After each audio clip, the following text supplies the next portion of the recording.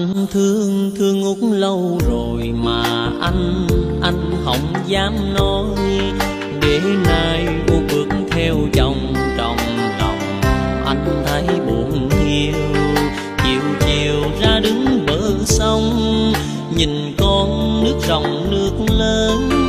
Liêu riêu bên lỡ bên bồi còn ai ngồi giặt áo đâu mà trông anh thương thương út lâu rồi rasa